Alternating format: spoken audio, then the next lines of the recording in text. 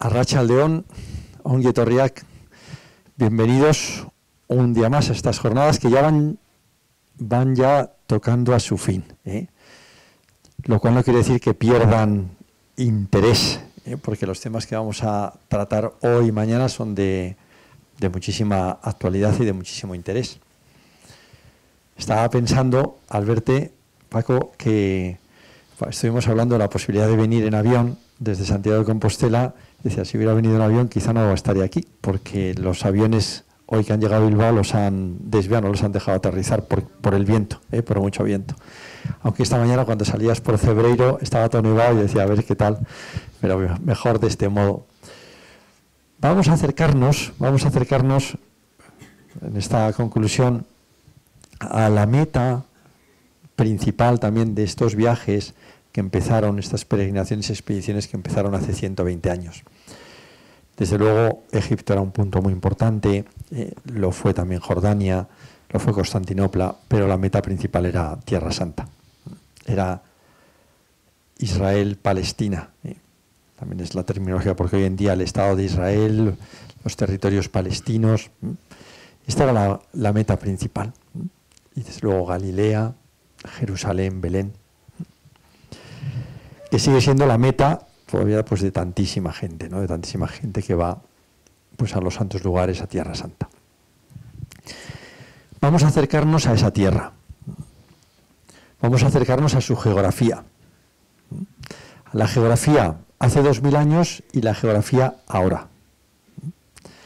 Y lo vamos a hacer de manos a través de una persona que, pues que nos puede aportar muchísimo es Francisco Castro, él es el director del Museo de Tierra Santa de Santiago de Compostela y es una persona que pasa muchos, muchos días, muchos días del año, muchos días de su vida en Tierra Santa. ¿eh? Más o menos, yo no sé, el año pasado unas ocho veces tuviste que estar allí en Tierra Santa y son durante muchos años. Me contaba también, pues, un libro, todo empezó en Galilea, algo así también, ¿eh? que aunque ahora mismo está descatalogado, habrá que sacar una nueva edición, pero también, bueno, pues entre distintas publicaciones con, vamos, fruto de su conocimiento, fruto de su experiencia, fruto de su estudio, fruto de su pisar, de su patear en estas tierras. Francisco, Paco, muchísimas gracias eh, por estar con nosotros, por podernos hablar de lo que nos vas a hablar ahora y tienes la palabra. Muchísimas gracias. Paz y bien. Me he olvidado decir que Francisco Castro, él es franciscano, ¿eh? y ya sabéis también que los franciscanos, pues, bueno, desde hace tantos siglos, ¿no? Tenéis toda la custodia franciscana y sois también, bueno, pues también eso sería otro tema. Y el Museo de Tierra Santa, Santiago de Compostela, también tendría, sería bueno que nos contaras un poquito, bueno, ahí, ¿eh? todo lo que tú veas. Insisto, paz y bien. Esta mañana salía de un lugar geográfico, es un lugar para mí muy especial, lugar en el que vivo, lugar en el que nací, lugar en el que he vivido la mayor parte de mi vida. Y según venía por carretera, acercándome a Vitoria-Gasteiz, pensaba que todos tenemos en nuestro corazón, en nuestra alma, en nuestro pensamiento, algún lugar o algunos lugares geográficos. Les voy a invitar ahora a que cierren los ojos y que piensen qué lugar o qué lugares conforman esa geografía interior del alma. Será un nombre, pero ese nombre evoca inmediatamente sentimientos, experiencias, encuentros, quizás también malas experiencias. En definitiva, que todos, queramos o no, al materializarse nuestra vida, tenemos que echar raíces en un lugar o en varios lugares. La geografía conforma también nuestra vida. Tierra Santa, que es el lugar, ese lugar que para muchas personas a lo largo de la historia ha sido algo así como la segunda patria, o la patria del alma, es un lugar geográfico, no especialmente grande.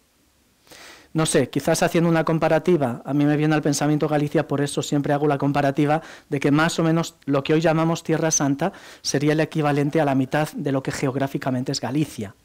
En definitiva, un espacio muy pequeño, en el que hoy habitan aproximadamente 8 millones de personas, quizás más, dependiendo un poco de si miramos aquello que es oficial y aquello otro que no lo es tanto, porque también es una tierra mártir, una tierra que sufre, una tierra con muchas controversias desde la perspectiva social, política, económica, que no es lo que a mí me corresponde contar hoy. Yo sí quisiera, si puedo, transmitirles mi pasión por Tierra Santa, por lo que es y significa hoy y por lo que ha significado a lo largo de la historia. Aquí está tan pequeñito como esto.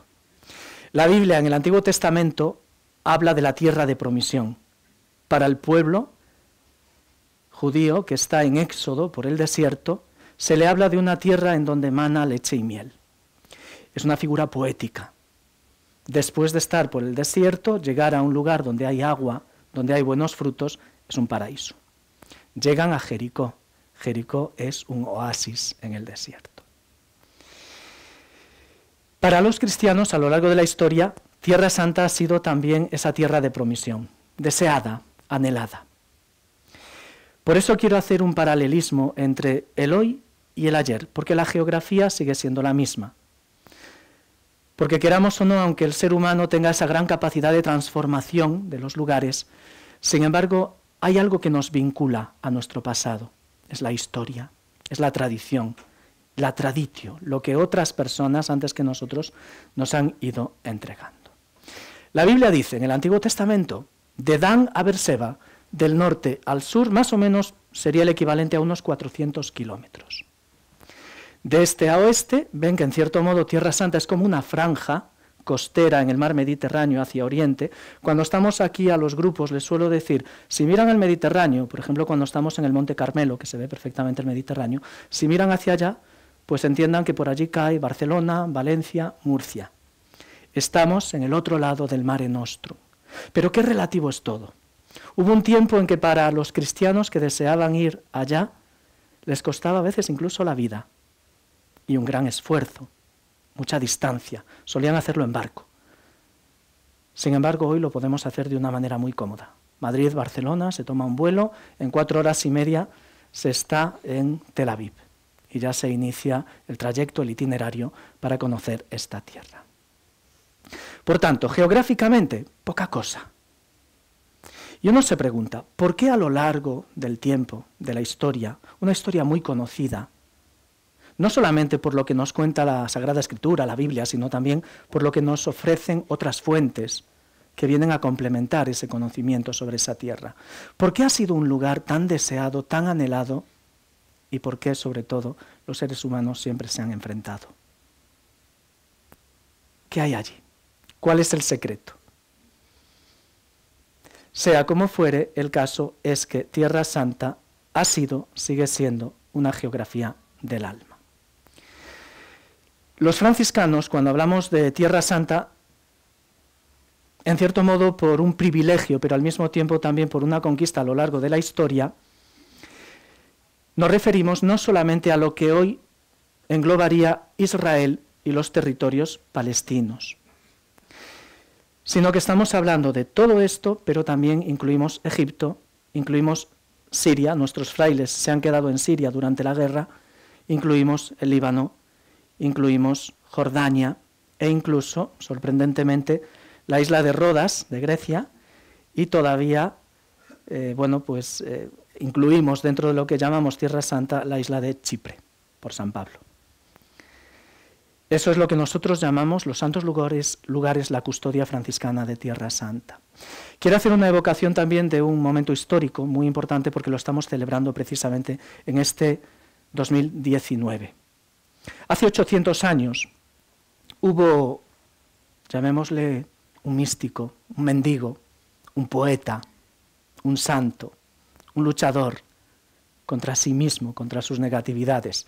Se llamaba Francisco y era originario de Asís.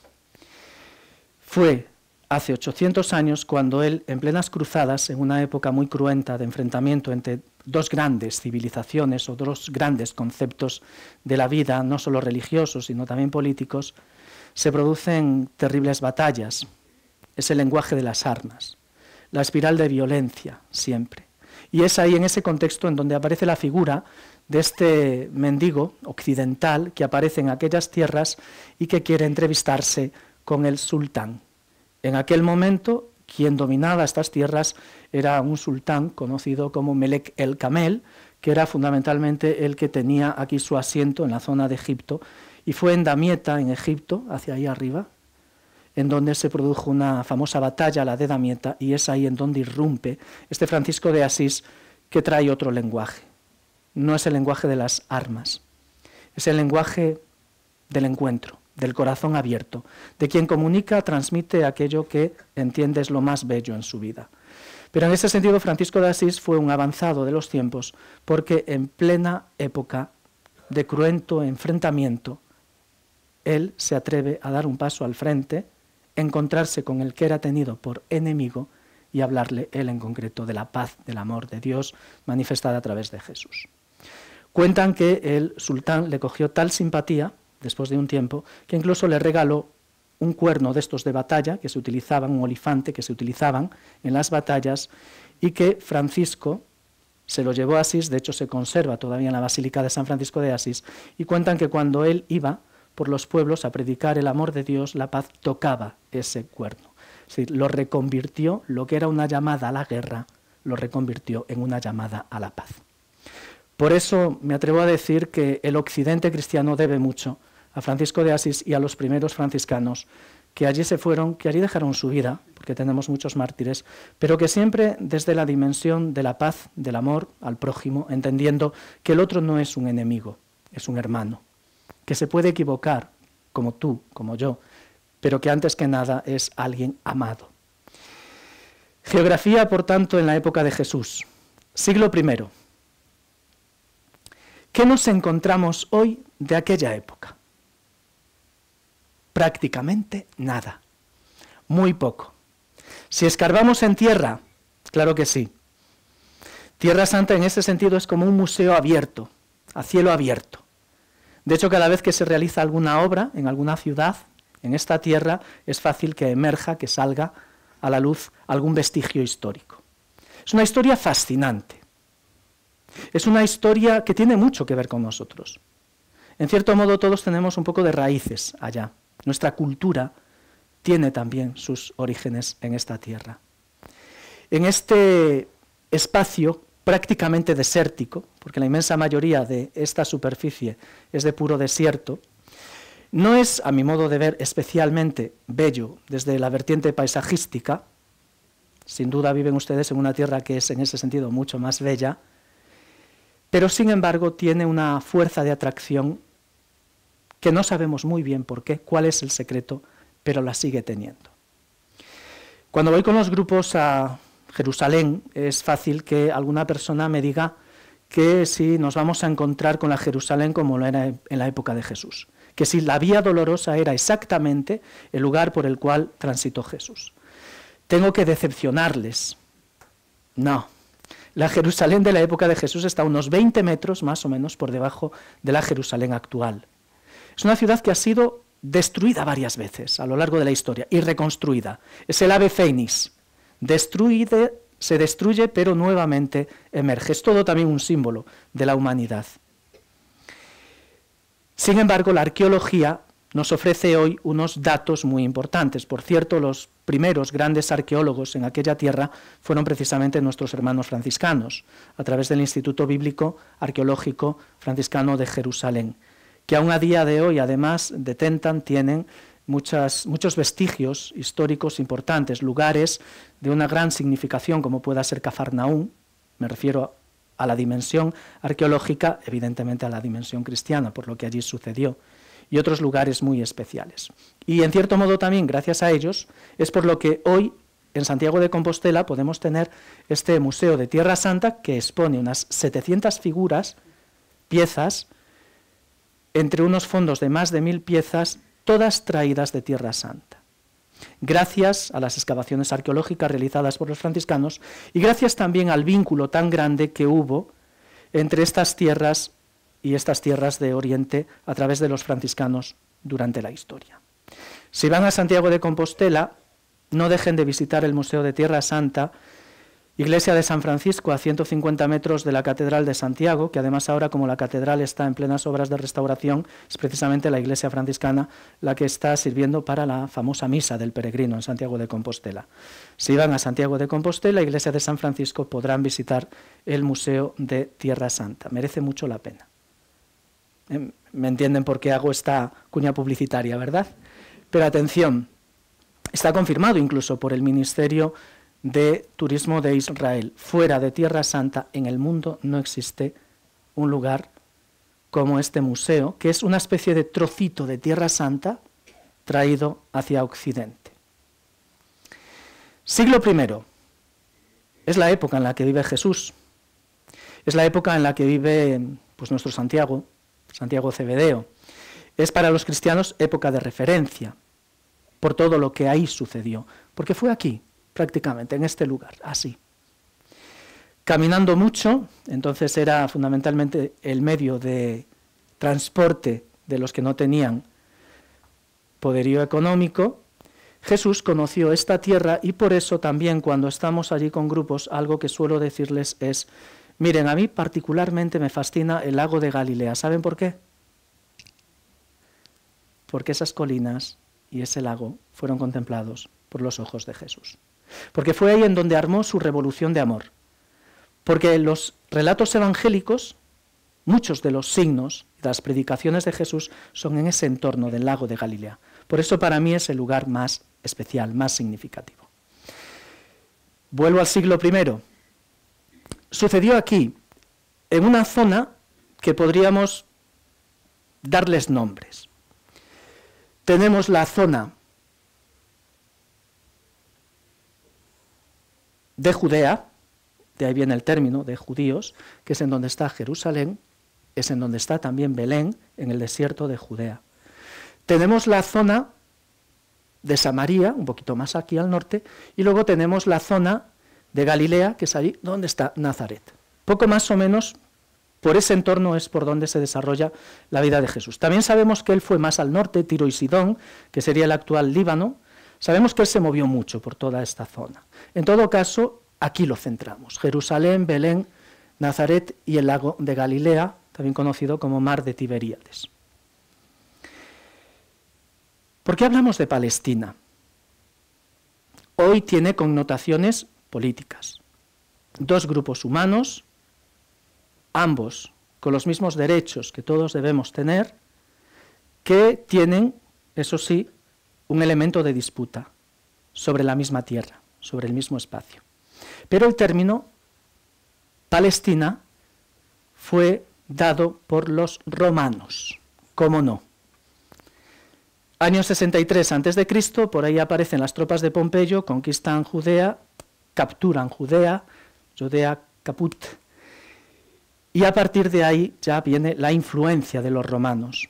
En la época de Jesús, siglo I, quienes dominan aquella tierra son los romanos. Y han puesto a un rey que ha pasado a la historia como un criminal, realmente, que era un rey títere, porque además no era de origen judío, con lo cual los judíos, el pueblo judío, no lo querían nada, y es que además era realmente muy violento ese hombre. El famoso Herodes. Pero que ha hecho una gran obra de construcción de edificios, que hoy la arqueología se frota las manos redescubriendo precisamente los llamados palacios de Herodes. Pues bien, en ese siglo I, teniendo esta circunstancia o esta situación, cuando los romanos llegan, se encuentran con que aquí en esta tierra, junto al mar, junto al Mediterráneo, en Oriente, Mare Nostrum, el Mare Nostrum de los romanos, viven unos pueblos que eran conocidos como filisteos, los pueblos del mar. ¿Recuerdan un filisteo famoso? Era muy alto, Goliat, al que vence David, todo un símbolo, ¿no? El pequeño vence al grande. Por cierto que la Biblia influye mucho todavía en nuestro lenguaje, en nuestros refranes, en nuestra filosofía de vida, porque muchas de esas historias, de una forma o de otra, han pasado también a formar parte de nuestra cultura, aun cuando nacieron hacia Oriente. Por eso digo que nosotros culturalmente, religiosamente, tenemos raíces en Oriente. Pues bien, cuando llegan los romanos le llaman a esta tierra, ¿saben cómo?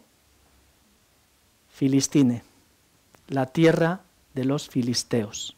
Filistine, PH, K y la H ya tenemos Palestine. ¿Mm?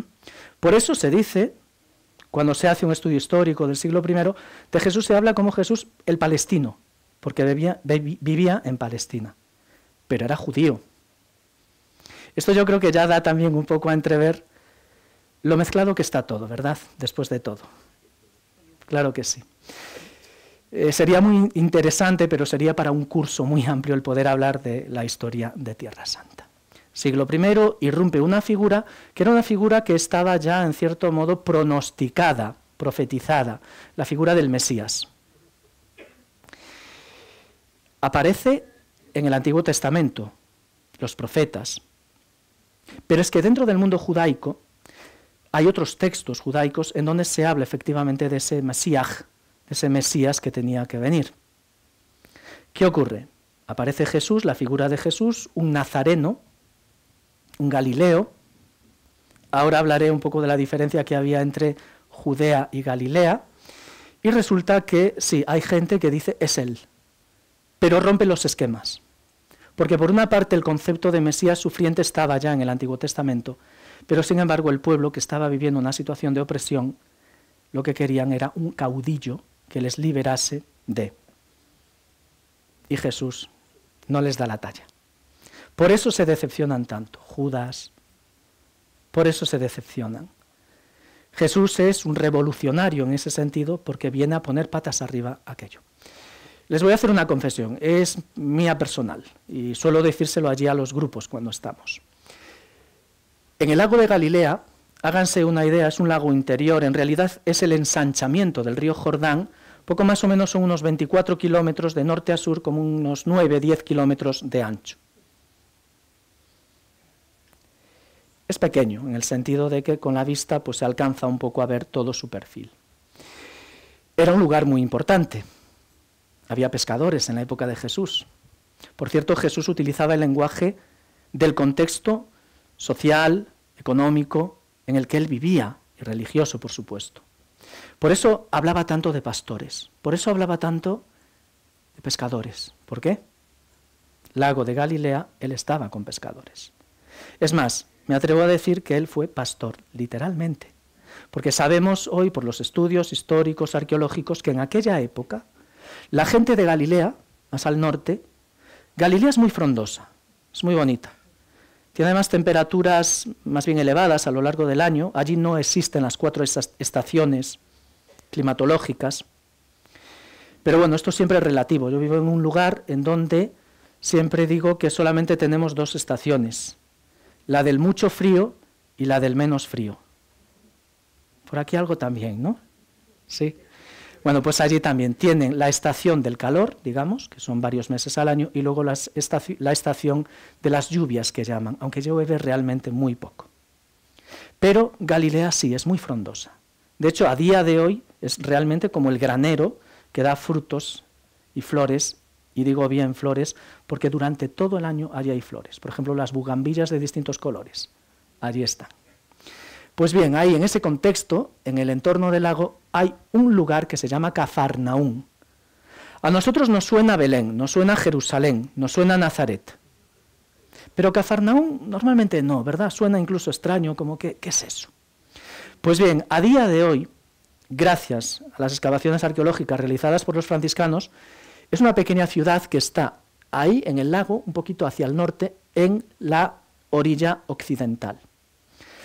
Son restos arqueológicos, son piedras, pero piedras con mucho sentido. Allí está la casa de Pedro, el lugar en el que vivió Jesús, probablemente esos tres años más o menos de vida pública. Pues bien, la confesión que hago es la siguiente. Allí en Cafarnaún sabemos hoy, porque han aparecido monedas de distintas épocas y de distintos lugares geográficos, que era lugar de paso de las caravanas que venían de Egipto, que iban hacia el norte, hacia Damasco, o más hacia aquí, hacia Oriente. Por tanto, que era un lugar dentro de la llamada Vía del Mar, Vía Maris. Jesús deja Nazaret. Hoy sabemos por los datos arqueológicos que Nazaret era una aldeita. Más o menos, para que se hagan una idea, 200 metros de largo por unos 100 metros de ancho. Es lo que todavía hoy es el recinto de la custodia franciscana en donde está la Basílica de la Anunciación. están las grutas, las cuevas que habitaban en aquel momento. Pues bien, sabemos que podría tener 300 habitantes o 400 como mucho, porque saben que la Biblia es bendición divina tener hijos, por tanto se tenían muchos hijos, eran familias muy extensas. Pero era una aldeíta. Recuerden que hay alguien, Natanael, que es de Caná de Galilea, que es un pueblecito cercano a Nazaret, que dice, cuando alguien le dice, hemos encontrado al Mesías, y es este Jesús, el de Nazaret, que responde, pero es que puede salir algo bueno de Nazaret. A Nazaret no se la cita en el Antiguo Testamento. Nazaret era un pueblecito, una aldeita, donde se dedicaban fundamentalmente a la agricultura y al pastoreo. Sed pastor. El pastor conoce a sus ovejas, las ovejas siguen al pastor. Jesús utiliza un lenguaje que conoce la gente que lo escucha. Y fundamentalmente quien lo escuchaba en aquel momento eran pastores, eran pescadores, eran las, las madres eh, que, que estaban en casa cuidando a los hijos, que trataban un poco de sacar adelante el hogar. Eran las personas sencillas. Y su palabra cala mucho en el corazón, porque hablaba directamente al corazón. Pero claro, rompe las expectativas de muchos, de muchos. Pues bien, siglo I hablamos de Judea, en donde está Jerusalén, la gran capital. Ya se había reconstruido el templo, por eso se le llama el segundo templo. El primero fue destruido en el siglo VI antes de Cristo, en la época de los babilonios. Invaden Jerusalén, destruyen el templo, se llevan el arca, se llevan al pueblo, incluso al exilio. De ahí que muchos salmos de la Biblia hablen precisamente de Babilonia, del destierro en Babilonia. Pues bien, ya en el siglo I, este Herodes, gran constructor o que mandaba construir grandes edificios, reconstruyó el templo conocido por tanto por Jesús, del cual hoy no queda piedra sobre piedra. Es la famosa esplanada de, hoy decimos de las mezquitas, porque hay dos hermosas mezquitas fundadas en el siglo VII, y es la conocida como esplanada de las mezquitas, que es en donde estaba el templo de Jerusalén. Pues bien, Jesús lo que hace es utilizar un lenguaje que todo el mundo comprende, y él se mueve fundamentalmente ahí al norte, Galilea. ¿Saben qué distancia hay más o menos desde Galilea, desde el lago, hasta Jerusalén? Es la distancia mayor que hacemos habitualmente con los grupos en peregrinación. 140, 150 kilómetros. Un par de horas en autobús. En época de Jesús era a pie. Échenle, pues no sé, cuatro días, cinco días. Caminaban bastante. Saben que los peregrinos a Santiago hacen cada día en torno a 25 o 30 kilómetros, incluso algo más. Pues bien, normalmente, por cierto, una curiosidad, los galileos, los galileos era población judía, pero que tiempo atrás había estado mezclado también con otras poblaciones. Por eso los judíos de Judea, los de Jerusalén, miraban con cierto desdén a los galileos. Eran los pueblerinos. ¿Qué pasa cuando Pedro va siguiendo a Jesús en el momento del inicio de la pasión. Hay un momento en que alguien le dice, tú eres Galileo, te delata tu acento, tú andabas con él. Por eso, en esa época tenemos el judaísmo establecido fundamentalmente ahí, en Judea, en el entorno de Jerusalén, y tenemos otro judaísmo más al norte, que es el Galileo, el de Jesús, que es de una mentalidad más abierta. Por eso, es mi teoría, cuando Jesús deja Nazaret y se va a vivir a Cafarnaúm, no se va a vivir a Jerusalén. Es más, sabemos que él pasa por Jerusalén puntualmente. Como cualquier judío, iba a las fiestas más importantes, sobre todo a la Pascua. Pues bien, los judíos del norte solían bajar hacia Jerusalén siguiendo el curso del río Jordán, del bíblico Jordán. Lo más cerca era pasar por Galilea, pero ¿qué pasaba en Galilea? Perdón, en Galilea, en Samaria. Los judíos y los samaritanos habían roto relaciones, no se llevaban bien. Recuerden el encuentro de Jesús con la mujer samaritana, todo un escándalo en la época. Él a solas, en público, hablando con una mujer y que además no era de casta judía, digamos. Hasta sus discípulos se sorprenden. Es más, Jesús pone como ejemplo de entrega de servicio al prójimo ¿A quién? El buen samaritano. Otro escándalo les estaba proponiendo como modelo, ni más ni menos, que al no querido, al vecino de allá con el que no te llevas bien. Por eso digo que en ese sentido Jesús rompió mucho los esquemas de aquella época. Pues bien, los judíos de Galilea solían seguir el curso del Jordán para no pasar por tierra samaritana, que era lo más corto, para evitar problemas, para no sentirse impuros. Bajaban hasta Jericó, la famosa bíblica e histórica Jericó, y desde ahí ya subían a Jerusalén. Por eso la Biblia utiliza el verbo subir. Cuando se habla de ir a Jerusalén se dice subir a Jerusalén. ¿Saben por qué? Porque está alto, unos 750 metros sobre el nivel del mar, que es bastante para aquellas tierras. De hecho, en Belén y en Jerusalén en esta época puede nevar. Puede nevar. Subían por el desierto, es ahí en donde Jesús ambienta lo famoso, esa famosa parábola del buen samaritano hasta llegar a Jerusalén, que era la ciudad sacrosanta para los judíos.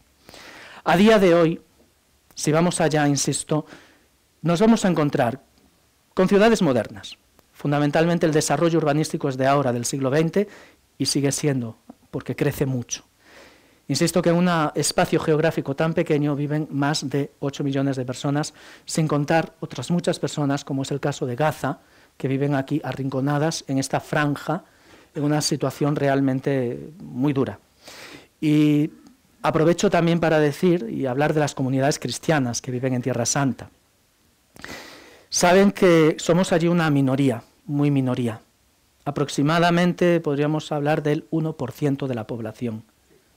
La tierra de Jesús. Ya Jesús dijo, nadie es profeta en su propia tierra.